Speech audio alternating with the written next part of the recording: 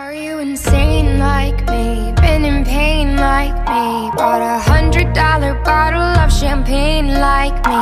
Just to pour that motherfucker down the drain like me? Would you use your water bill to dry the stain like me?